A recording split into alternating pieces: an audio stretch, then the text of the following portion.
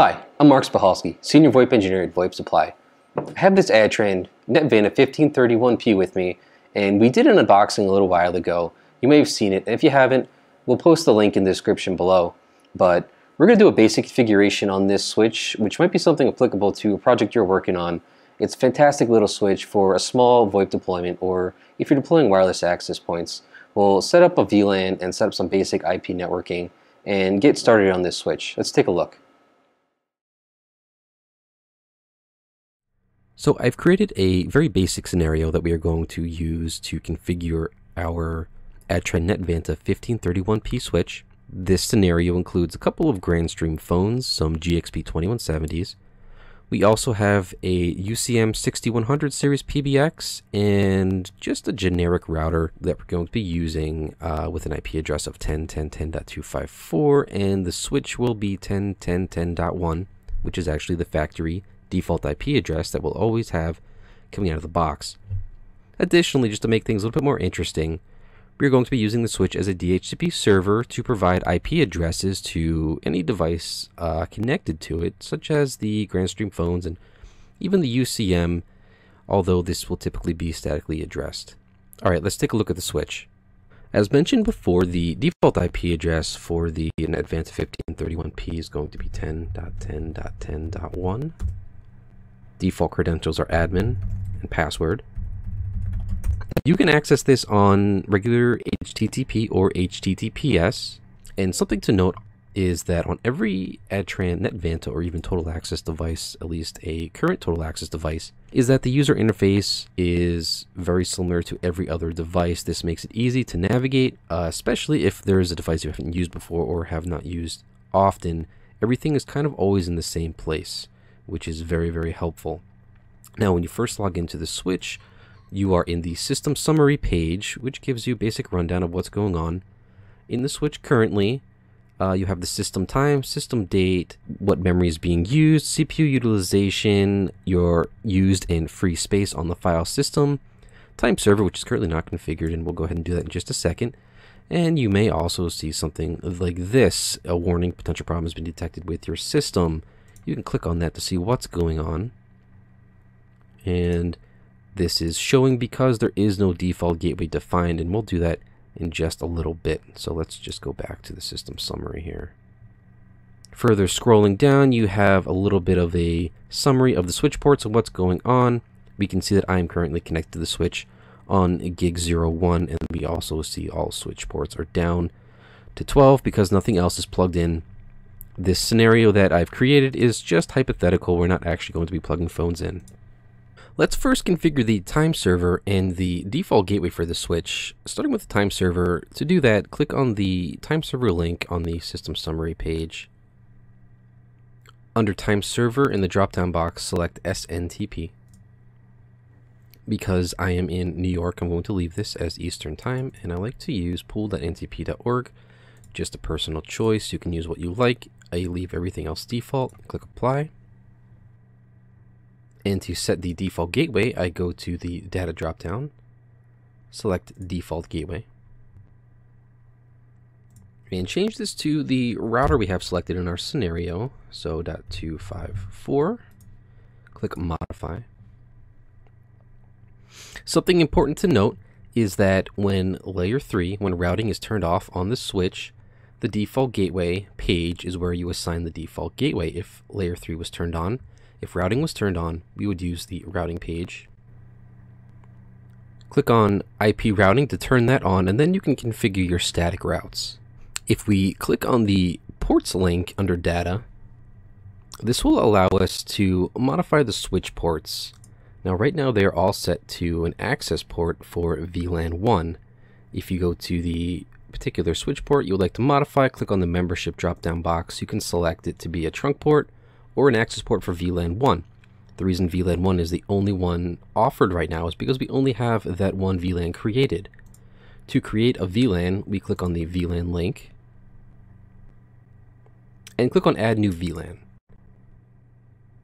Now, we don't need to do this for our, for our scenario, so this is just a view of what you would have to fill out to create a new VLAN you would fill in the name, VLAN ID, maybe 10, 20, for example, And because it's a layer 3 switch, we can make this a VLAN interface, giving it an IP address.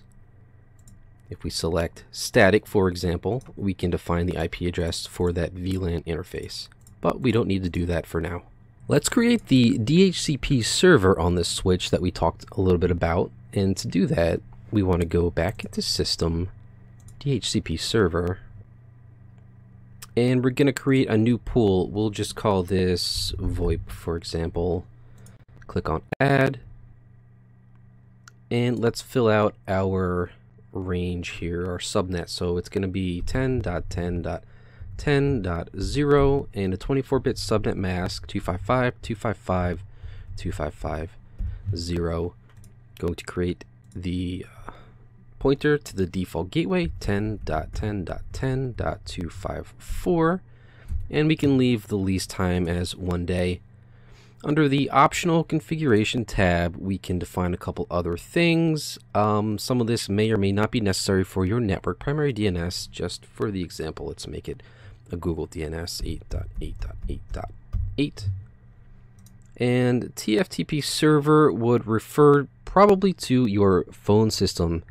Um, in this example, it would be the Grandstream UCM 6100 series, whatever that IP address is, is what we put into here. Let's just make up a number 10.10.10.250 NTP server. Let's make it the 1531p 10.10.10.1. And because this is the East Coast, a minus 5 offset.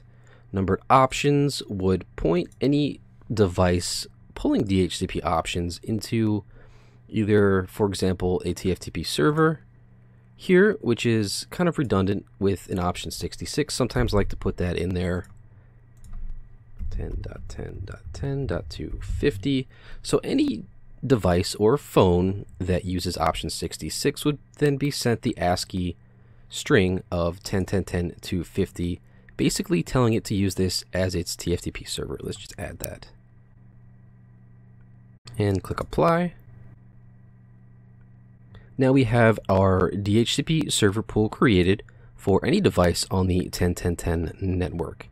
Any device pulling a lease would then show up under current leases. Right now there is nothing because there really isn't anything connected to our switch, but this is how it would be set up.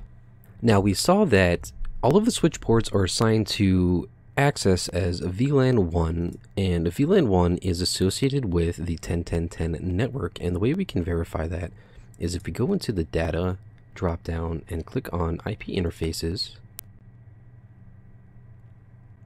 And we can see that the default VLAN IP address 10.10.10.1, which is the VLAN IP, is associated with VLAN 1.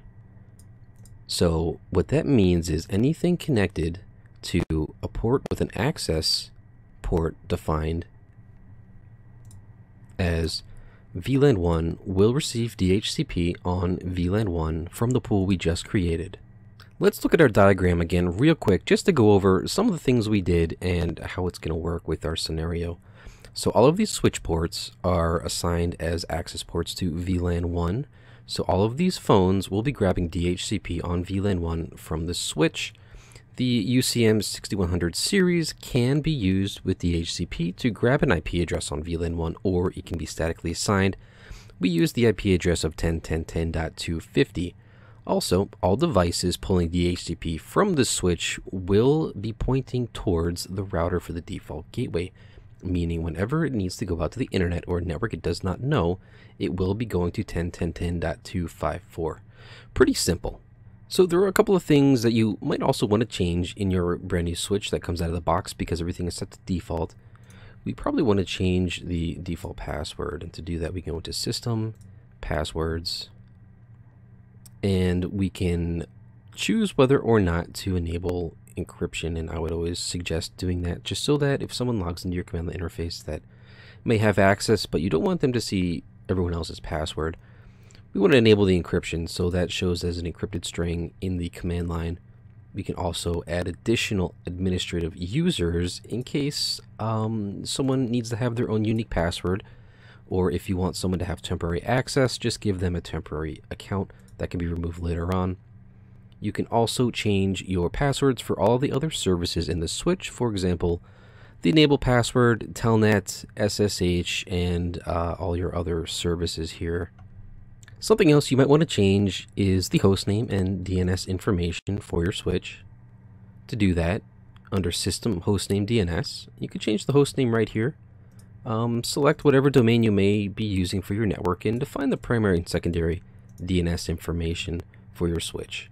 You can also turn on things like LLDP, which might be useful uh, if you have multiple switches and need to identify them um, by their IP address and model.